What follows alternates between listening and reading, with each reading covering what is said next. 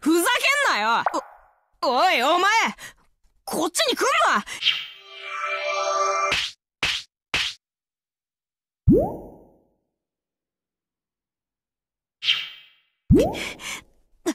わかったよ。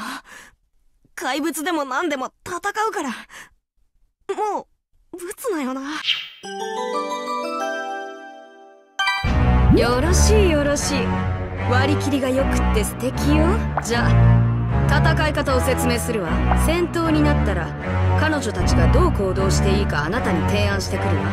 提案された行動の中で良いと思ったものをあなたが選ぶ。